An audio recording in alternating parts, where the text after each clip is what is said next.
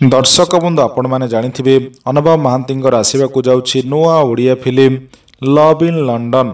ଏହି ଫିଲ୍ମରେ ଅନୁଭବ ମହାନ୍ତିଙ୍କ ବିପକ୍ଷରେ ଦୁଇ ଜଣ ନବାଗତ ଅଭିନେତ୍ରୀ ସୌମ୍ୟା ଏବଂ ସୋଫିଆ ମୁଖ୍ୟ ନାୟିକା ଭାବରେ ଅଭିନୟ କରୁଛନ୍ତି। ଦର୍ଶକ ବନ୍ଧୁ ଏବେ ଅନୁଭବ ମହାନ୍ତିଙ୍କ ନୂଆ Odia film love in London ଖୁବ୍ ଜୋରସୋରରେ ସୁଟିଂ ଚାଲିଛି।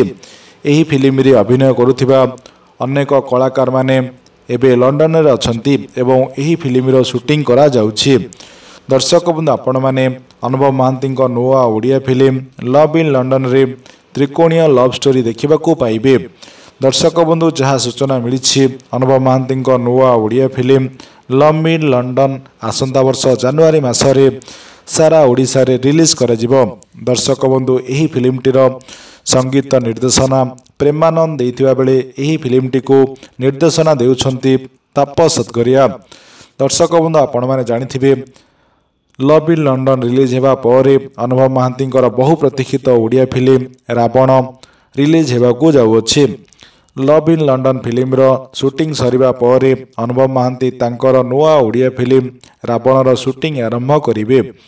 ଦର୍ଶକ ବନ୍ଧୁ ଯାହା ସୂଚନା ମିଳିଛି ଲଭ୍ ଇନ୍ ଲଣ୍ଡନ ରିଲିଜ୍ ସରିବା ପରେ ଅନୁଭବ ମହାନ୍ତିଙ୍କ ବହୁ ପ୍ରତୀକ୍ଷିତ ଓଡ଼ିଆ ଫିଲ୍ମ ରାବଣ ସାରା ଓଡ଼ିଶାରେ ରିଲିଜ୍ କରାଯିବ। ଦର୍ଶକ ବନ୍ଧୁ ପାଖାପାଖି ତିନି ବର୍ଷ ପରେ ଅନୁଭବ ମହାନ୍ତିଙ୍କର ନୂଆ ଓଡ଼ିଆ ଫିଲ୍ମ ଆସିବାକୁ ଯାଉଛି।